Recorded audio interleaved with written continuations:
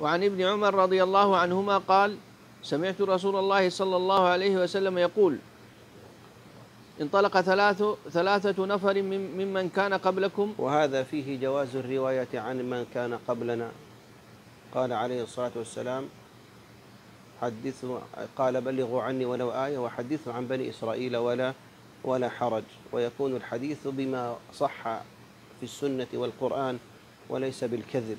والحديث عن بني إسرائيل في ثلاثة طرائق ما صح قرآنا يذكر وينثر ما صح سنة يذكر وينثر وينشر ما لم يصح لا يذكر إلا على وجه التحذير والتوضيح أنه لا يصح وما سكت عنه يقال استئناسا. نعم.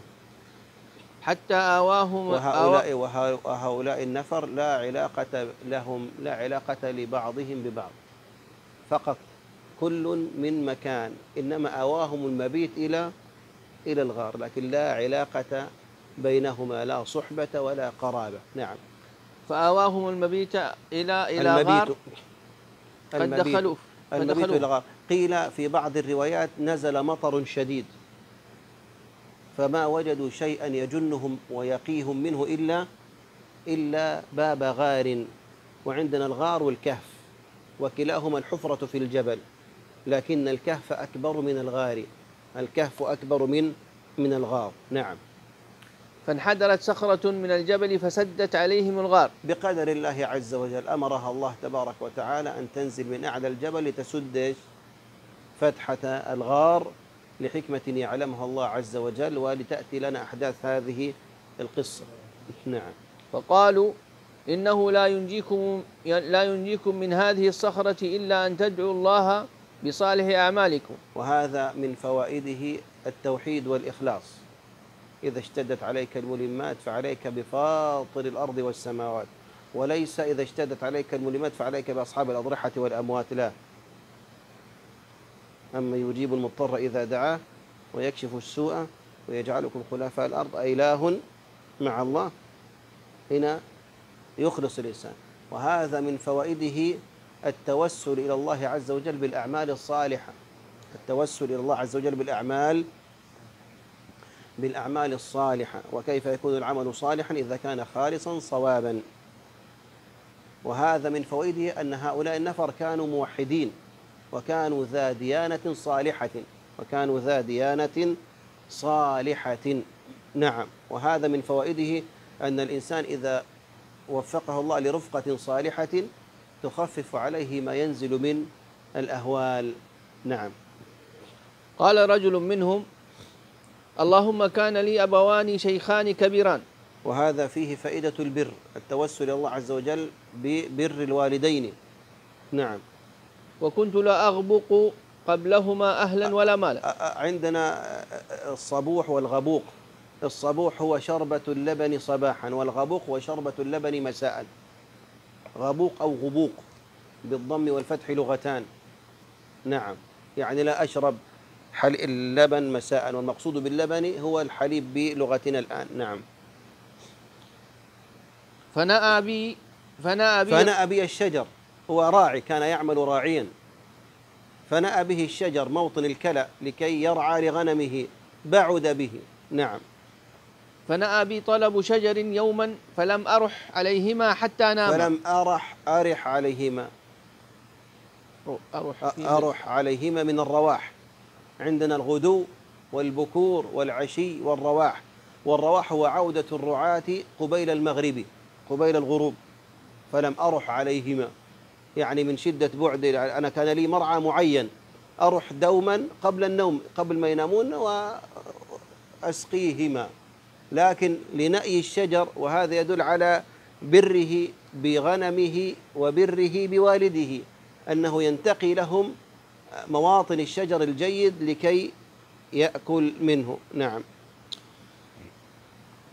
فحلبت فحلبت لهما غبوقهما. نعم. فوجدته فوجدتهما نائمين.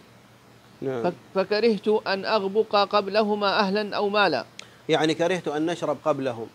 وفي رواية كان الأطفال يتضاغون عند رجلي.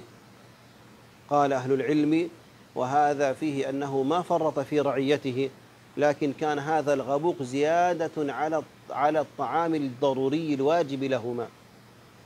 نعم. ف... آه؟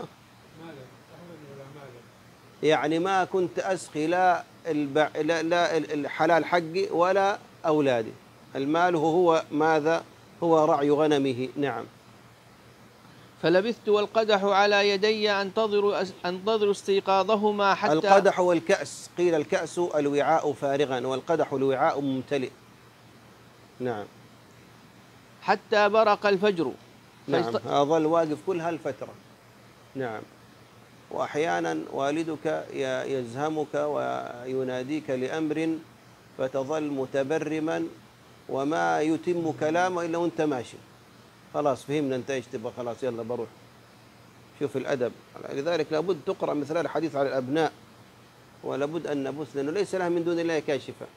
لا تربية من غير أن نربطهم بالكتاب والسنة. نعم. فاستيقظا فشربا غبوقهما. نعم. اللهم إن كنت فعلت ذلك ابتغاء وجهك ففرج عنا ما نحن فيه. من هذه الصخرة هذا الآن يتوسل ببر الوالدين ومن الأعمال الصالحة. يتوسل الله يدعوه. اللهم يا يعني اللهم هي كلمة من كلمتين يا الله. ولكن عند العرب أداة النداء إذا سبقت لفظ الجلالة جمعت في قول اللهم. قل اللهم مالك الملك تؤتي الملك من تشاء. اللهم ربنا أنزل علينا مائدة من السماء إلى غير ذلك. نعم. فانفرجت شيئا لا يستطيعون الخروج. لا يستطيعون الخروج. لا يستطيعون الخروج. نعم. وقال الآخر اللهم كانت لي ابنة عم ابنة عمي ابنة عم. وهذا يتوسل الله عز وجل بعفافه وبعده عن الفاحشة. الله يبعدنا وإياكم عنها يا رب العالمين. نعم. وكانت أحب الناس إلي الحديث. نعم.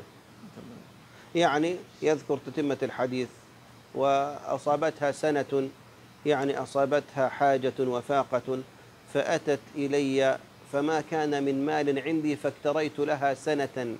يعني جلس يشتغل يشتغل لين جمع لها المال. قال فقدمت إلي وأعطيتها الدنانير وقلت لن أعطيك حتى تخلي ما بيني وبينك. قال ف فقال فوافقت على مضض. فلما جلست منها ما يجلس الرجال من النساء قالت اتق الله ولا تفض الخاتم إلا بحقه. فقمت عنها وهي أحب الناس إلي وتركت لها الدراهم. اللهم إن كنت تعلم. طبعا هذا اللفظ ليس على على الشرطية. الله يعلم تبارك وتعالى السر وخف إنما هذا على التحقيق.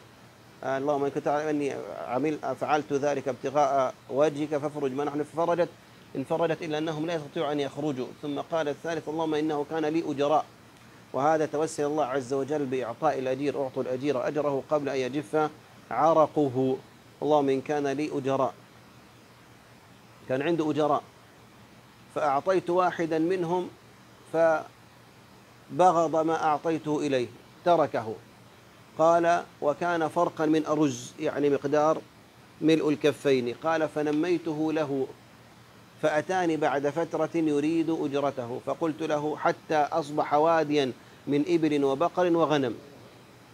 قال كل هذا لك. قال تهزأ به؟ وكل كان كف رز يعني انتهينا. قال كل هذا لك. خذ ما شئت ودع ما شئت فالله فوالله لا أجحدك اليوم شيئا. قال فأخذه كله ومضى. قال اللهم إن كنت فعلت ذلك ابتغاء وجهك فافرج ما نحن فيه فانفرجت وخرجوا يمشون. هذا كله من باب التوسل بالأعمال بالأعمال الصالحة. الإنسان يجعل بينه وبين الله عز وجل خبيئة وخبايا يحتاجها في يوم شديد حره. بعيد أمره. نعم.